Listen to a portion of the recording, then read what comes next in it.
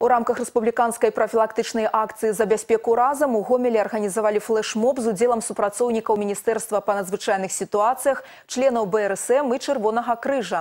Асноўная мэта нагадаць людзям аб неабходнасці строгага выканання супрацьпажарных правілаў. Не панікаваць. Гэта бадай галоўная парада, якую можна даць людзям пры ўзнікненні пажару.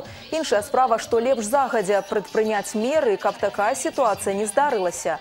Асаблівую актуальнасць гэтае пытанне набывае з пачаткам ацепляльнага сезону. І хоць сёлета адзначаецца зніжэнне колькасці пажараў у параўнанні з адпаведным леташнім перыядам, для ўтрымання становішча пад кантролем неабходна пастаянная прафілактычная работа, у тым ліку праз правядзенне флэшмобаў. Сярод арганізатараў гэтага мерапрыемства адміністрацыя чыгуначнага раёна, гомельскі гарадскі аддзел па надзвычайных сітуацыях, БРСМ, чырвоны крыж, а таксама 9 сярэдняя школа, у якой створаны спецыялізаваныя профільныя класы. Акцию будут проводить Белорусская молодежная общественная организация спасателей пожарных, которая э, у нас в школе насчитывает 70 детей. И э, мы э, всегда принимаем участие в подобных акциях, потому как считаем, что человеческая жизнь – это самое важное, что есть у нас.